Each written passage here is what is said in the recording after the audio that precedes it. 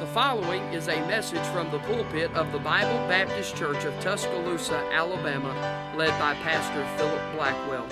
It is our desire that God would use this message to be a help and a blessing to you. If you're looking for a traditional church where Christ is preeminent and the membership is family, we invite you to come and be our guest. Now may God bless you as you listen.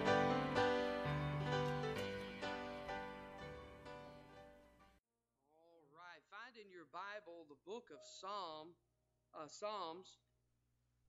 Excuse me. Find in your Bibles the book of Psalms and look for Psalm number 22. Psalm number 22. Once you found your place there, let's stand out of love and respect for the Word of God. I just want to give you a few thoughts here from Psalm number 22. Psalm 22. We'll start reading there in verse number 1. Psalm 22 and verse number 1. The Bible says in Psalm 22 and verse 1 My God, my God, why hast thou forsaken me? Why art thou so far from helping me and from the words of my roaring? O my God, I cry in the daytime, but thou hearest not, and in the night season, and am not silent. Jump down to verse 6. But I am a worm and no man, a reproach of men and despised of the people. All they that see me laugh me to scorn. They shoot out the lip, they shake the head, saying, He trusted on the Lord that he would deliver him. Let him deliver him, seeing he delighted in him. But thou art he that took me out of my mother's womb. Thou didst make me hope when I was upon my mother's breast. I was cast upon thee from the womb. Thou art my God from my mother's belly. Be not far from me, for trouble is near, for there is none to help. Many bulls have compassed me. Strong bulls of Bashan have beset me round. They gaped upon me with their mouths as a ravening and roaring lion. I am poured out like water, and all my bones are out of joint. My heart is like wax, it is melted in the midst of my bowels. My strength is dried up like a potsherd, and my tongue cleaveth to my jaws. And thou hast brought me into the dust of death, for dogs have compassed me, the assembly of the wicked have enclosed me, they pierced my hands and my feet. I may tell all my bones, they look and stare upon me. They part my garments among them, and cast lots upon my vesture. But be not thou far from me, O Lord, my O my strength. Haste to uh, haste thee to help me. Deliver my soul from the sword, my darling from the power of the dog. Save me from the lion's mouth, for thou hast heard me from the horns of the unicorns. Let's pray. And tonight I'm going to be preaching from this text on this thought the sufferings of the Savior. The sufferings of the Savior. Let's pray together. Lord, we are grateful tonight that we get to be here on a Wednesday evening and hear your word. Now, Lord, I understand tonight that as we're gathered here, Lord, we're remembering your death. Lord, when you went to Calvary and you died on the cross, that each of us that are in this room tonight could have eternal life.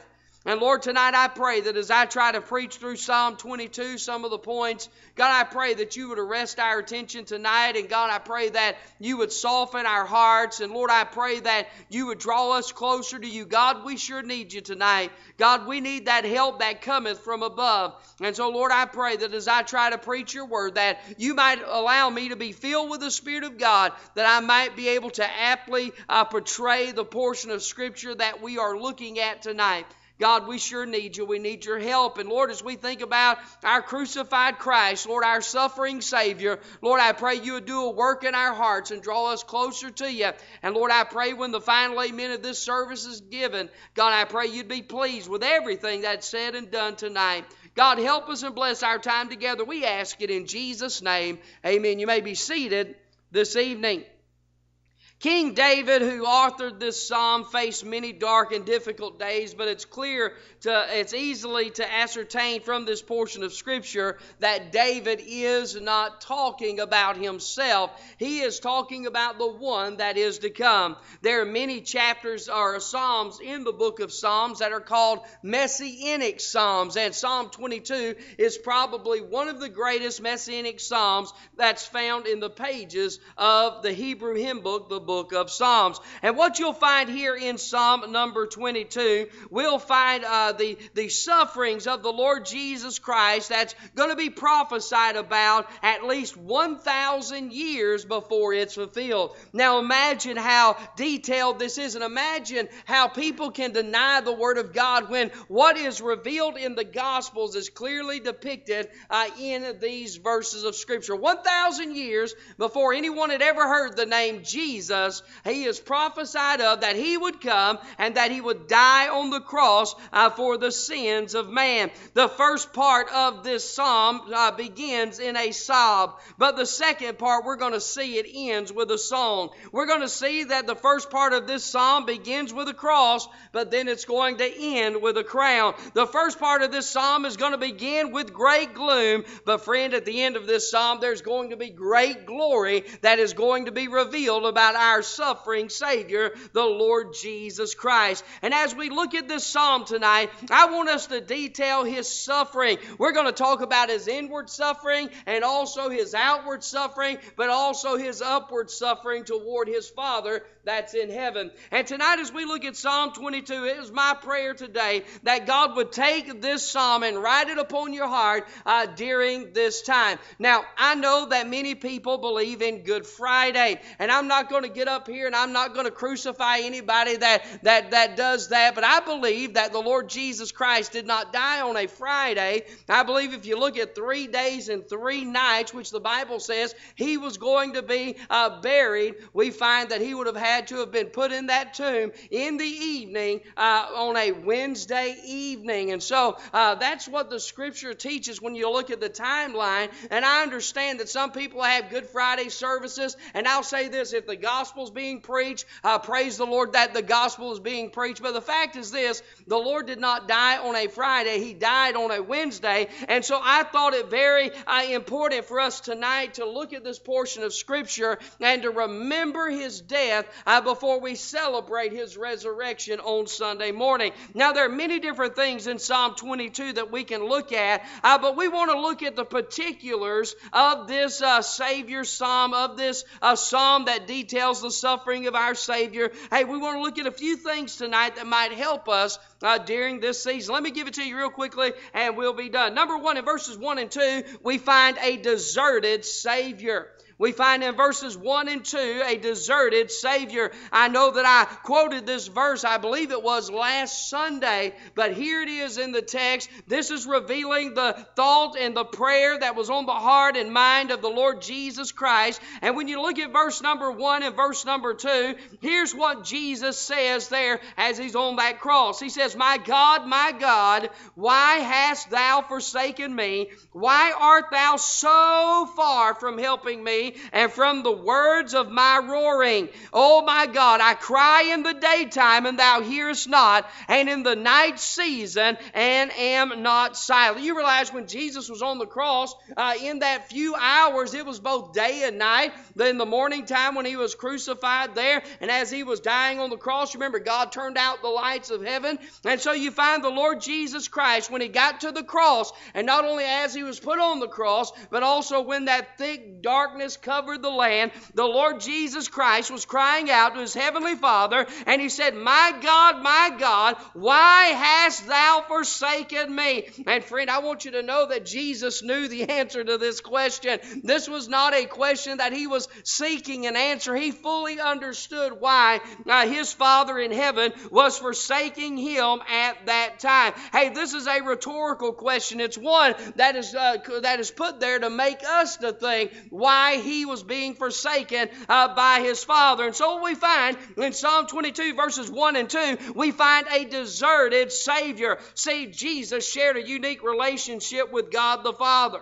It was the relationship that was never broken in eternity past, and it would it'll never be broken again in eternity future. But this one time in all of eternity, we find that the Father withdraws fellowship from the Son. You say, preacher, how can that happen? How can God deny Himself? How can God turn His back on Himself? Hey, I have not all the answers about that. Hey, I believe what the Bible says, and at this time, God the Father literally withdrew his fellowship from the Son. And the Son looked up to heaven and he said, My God, my God, why hast thou forsaken me? Hey, the Father, it is said that uh, Jesus, concerning his Father, I do always the things that please him. The Father who said of Jesus, This is my beloved Son, in whom I am well pleased. Hey, the Father, in that desperate hour of suffering, shut himself up in heaven and abandoned his Son to the horrors of the cross cross. Why? He was abandoned by God that you and I might never know what it is to be abandoned by God. The Son of God went to the cross of Calvary and he suffered and he bled and he died there. And he died uh, uh, departed from God or deserted by God the Father. And he cried out, Oh my God, uh, uh, why hast thou forsaken me? And that'll be the cry of the damned and doomed in hell and those that'll be one day cast into the lake of fire for all of eternity. They'll be crying out to God, My God, my God, why hast thou forsaken me? And the answer is this Hey, the reason God will forsake those in the lake of fire is because they did not believe on Jesus, who was forsaken by God for their sin.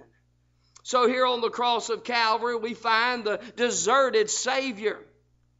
Next, number two, we find not only on the cross was he a deserted Savior, but number two, he was a despised Savior. Would you jump down to verse number six? Notice the subject of their despising in verse number six. Jesus says simply this first few words. He says, But I am a worm and no man. So people were looking on the Lord Jesus Christ. This was their thought toward Him. Hey, they viewed Him to be insignificant. Hey, in this description, they're saying that He who's dying on the cross, He is not who He said He was. He is just a worm. He is not a man. But you know, as I was thinking about that word worm, you know what I read today? I thought it was pretty interesting. He said, uh, one of the commentaries I read, it said the word worm refers to a specific worm that is in the Middle East. It's a scarlet colored worm. And what's interesting about this scarlet colored worm is that they were crushed and their blood was used to make a rare, cross, uh, costly crimson dye used for the robes of kings. That's where they got the crimson from. You know, here in Tuscaloosa, it's crimson tide. Hey, without these worms in the Middle East back then, they wouldn't have had that crimson color. And what we find here is that that worm would literally be crushed, and they would use the blood of that worm, and that worm would make beautiful, costly array for people to put on. And I thought about that. I thought about this. Isn't it wonderful to know that our Lord, the Lord Jesus Christ, suffered on the cross of Calvary? He allowed, we, we put upon Him the robes of our sin, our rags, our ungodliness. And you know what He clothes us with because of His blood? His robe of righteousness. Hey, we're made clean through the blood of Jesus Christ. We're made royalty through the blood of Jesus Christ. And you and I, because of this rejected and despised Savior, hey, you and I get to enjoy the glory of heaven because he was crushed for the sins of mankind. See, as we continue to read, look what the Bible goes on to say in verse number six. It says, But I am a worm and no man, a reproach of men and despised of the people. So the people were, a, uh, Jesus was a reproach to the people. They should have been looking for him, they should have accepted him. But the Bible says that he was a reproach to them. And as you continue to look, it says he was despised of the people. The people hated Jesus Christ. Look what it says in verse number seven. All they that see me shall laugh me to scorn. Is that not what they were doing at the cross? Were they not laughing the Son of God to shame there on the cross? And notice it says they shoot out the lip, they shake their heads, saying he trusted on the Lord that he would deliver him. Let him deliver him, seeing he delighted in him. Hey, those folks around the cross were quoting scripture and they didn't even realize it. You would have thought someone listening around that cross would have picked up on some of this stuff. Jews were very religious people. They knew the Word of God. And here are people that are fulfilling the Scripture. He was despised of men. Look what the Bible says. Jump down, if you will, to verse number 12. The Bible says, Many bulls have compassed me, strong bulls of Bashan have beset me round. They gaped upon me with their mouths as a ravening and roaring lion. So notice the the the uh, severity of their despisal. They would not uh, they would not relent. They continued. Here's the harmless, holy Son of God dying on the cross and all he is is speaking words of grace as he's dying there. He even says, Father, forgive them, for they know not what they do. And in spite of all of his words of grace, they will not stop. They continually pour it upon him. They continually, uh, get, uh, continually speak evil against him. See the severity of their despisal. He was a despised Savior. Number three, we see a deserted Savior, a despised Savior. Number three, notice a distressed Savior. Look at verse number 14. Here, Jesus was feeling emotional stress. You know how sometimes you feel inner stress and you feel like you're going to break under it? You know, the Lord Jesus Christ is, is, uh, knows all about that. Look at verse number 14 and notice the, the way the scripture is worded. It says, I am poured out like water. All of my bones are out of joint. Notice, my heart is like wax. It is melted in the midst of my bowels. We'll talk about the water in just a few minutes, but notice it says that his heart is melted in the midst of his bowels. You know what's interesting to me? Is at the hand. Uh, uh, this uh, the compassion of the Lord Jesus Christ is seen in these verses. Hey, it was Him in compassion that He touched the leper, that He healed the blinded eyes, that He restored hearing to the deaf ears. Oh, Jesus did much because of His compassion. He even said, "I forgive." But here we find that the heart of the Savior is finally broken. The Lord's heart's broken. I read, I, am not a medical doctor, so I couldn't tell you the veracity of this statement, but I've read where medical doctors have stated that the reason that he was talking about water and his heart being like wax and being melted, and when the, uh, the centurion took the sword and pierced his side and blood and water came out, they said it, that is because of an enlarged heart that burst. There's the Lord on the cross with a broken heart. Why does he have a broken heart? Is it because those around him? No. It's because our sins were being placed upon the Lord Jesus Christ. Hey, his heart was broken because of sin. It was broken because our sin was placed on him. Hey, the Bible talks about him who knew no sin was made sin for us. Our sin was placed upon him there on that cross. And friend, there was an emotional component uh, to his suffering there that you and I can't even begin to understand. Can you imagine? Imagine having all the sin of the entire world placed upon you placed upon your body and you being smitten and stricken of God and being afflicted by God for every single sin that entered into the world. Oh, I know we think about the sins of great sinners like Hitler and friend Jesus died for every one of Hitler's sins. We think about all the different sinners that have ever lived, but I want to tell you the most amazing thing to me is this. Not only did Jesus die for uh, all people, he died for me and my sins was placed upon him when he was suffering on the cross and he had a broken heart, it was not because of just the sin of the world. It was because of my sin and it was because of your sin. It was not because of the nails that scarred his sacred flesh. It was not because of the, uh, the spear that pierced his side. Hey, it was because of a broken heart, because of the sins of men being placed upon him. So we find the Savior, he was a despised Savior. We find he was a deserted Savior. We find that he was a distressed Savior. We see his emotional stress, but notice he also had physical distress. Look at verse 14 again. I'll, I'll hurry. The Bible says, I am poured out like water, and all my bones are out of joint. All of his bones were out of joint. Now you think about the pain he was in. His physical body is now, oh, not a bone was broken according to the scriptures, not one, but the Bible says that all of his bones were out of joint. His heart uh, was like wax. And look down in verse number 15. My strength is dried up like a potsherd, and my tongue cleaveth to my jaws, and thou hast brought me to the dust of death. The dogs have compassed me. The assembly of the wicked have enclosed me. That's the Gentiles. They pierced my hands and feet. I'll pause and say this. Death by crucifixion had not been invented in Psalm 22 and verse 16. Isn't it amazing? Here we have David talking about something that's going to be invented years after he wrote. But there they pierced his hands and his feet. Notice it also says in verse number 17, look what it says I may tell all my bones. That word tell means to count. He said he can look down at his bones, his ribs, all of his bones, he can count every single one of them.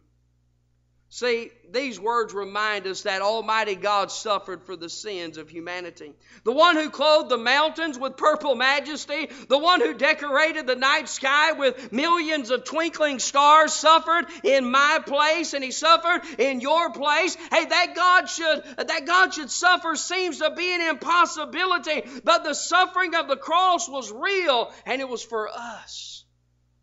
It's not a fairy tale.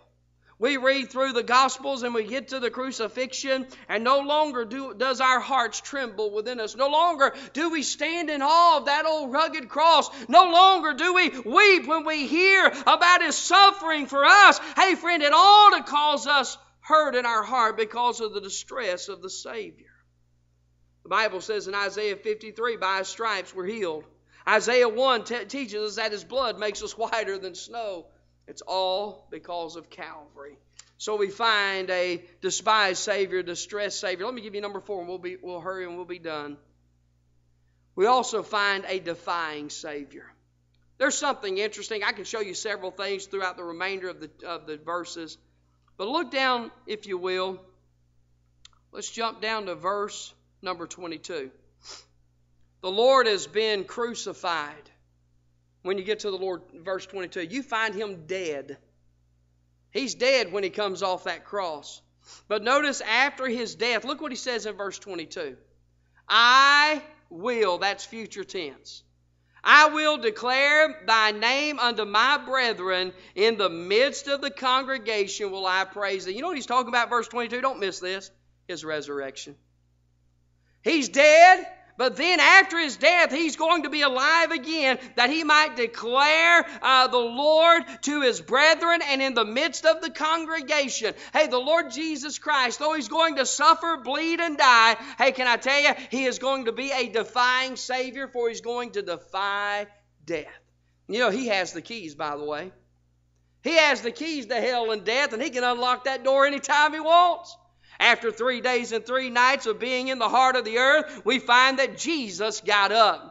He got up. He was raised from the dead. Hey, I can imagine. Can you imagine while he's down there in paradise? Can you imagine Adam recognizing who he was? Can you imagine Jacob remembering that he wrestled with him? Can you imagine Joshua, hey, seeing the one who declared himself the captain of the Lord's host? Can you imagine Shadrach, Meshach, and Abednego who knew their companion that was walking around in the fiery furnace? Hey, Jesus comes through, and they say, There he is. But after three days and three nights, they, they all say together, There he goes.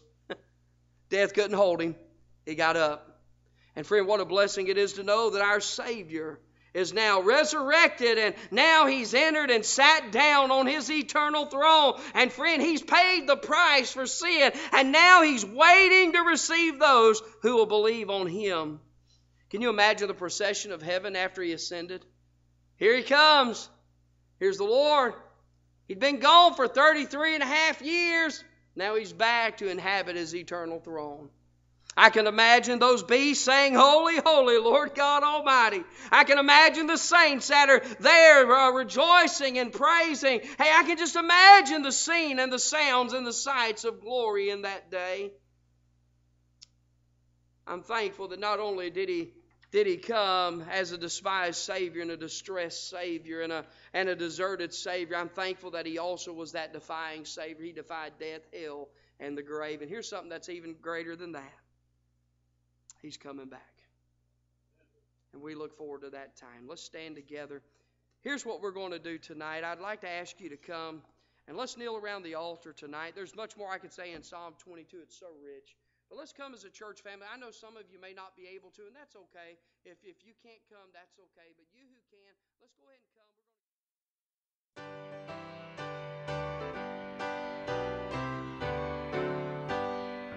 Thank you for listening to this message today. It is our prayer that this sermon fed your soul, lifted your spirit, and encouraged you in your walk with God. And as we conclude, please remember there's always a place for you Bible Baptist Church.